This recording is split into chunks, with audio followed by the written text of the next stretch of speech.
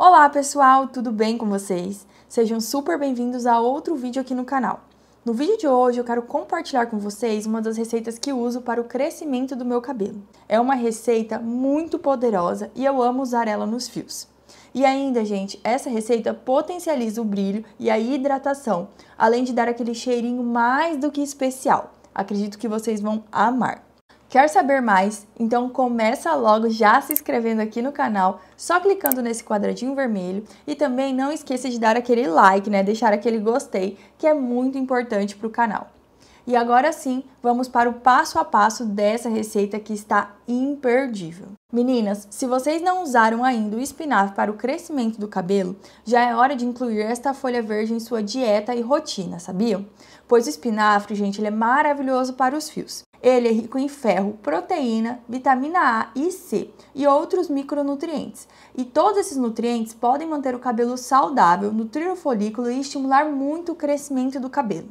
E para iniciar, vamos colocar no liquidificador mais ou menos uma xícara de folha de espinafre. A quantidade, gente, depende do tamanho do seu cabelo. Se seu cabelo for grande, você pode aumentar a quantidade de espinafre. E se for mais curto, você pode diminuir, tá bom? Logo em seguida, vamos adicionar uma colher de óleo de coco. O óleo de coco é muito bom para os fios, além de ser uma maneira natural de ajudar o seu cabelo a crescer mais rápido e mais grosso. As vitaminas e ácidos graxos encontrados naturalmente no óleo de coco nutrem o couro cabeludo e ajudam muito, gente, a remover o acúmulo de sebo do folículo capilar. O óleo de coco é tudo de bom para o cabelo.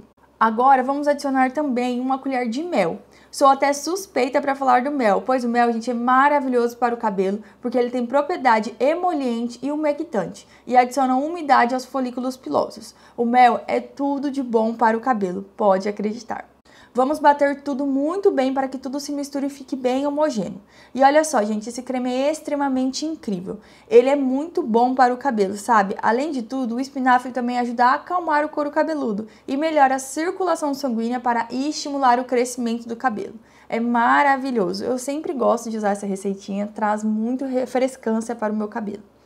A nossa receita está prontinha. Você pode usar ela desse jeito, sabe? Se você quiser, a gente pode usar ela desse jeito bem natural, que ela está prontíssima, tá? Mas hoje, de maneira opcional, eu vou adicionar um ingrediente, tá? Mas eu estou te falando, gente, é opcional. Você pode adicionar duas colheres de uma máscara capilar de sua preferência. Pode ser qualquer máscara capilar, tá? Depois de adicionado, agora é só mexer bem. E olha só, gente, fica um creme muito cremoso.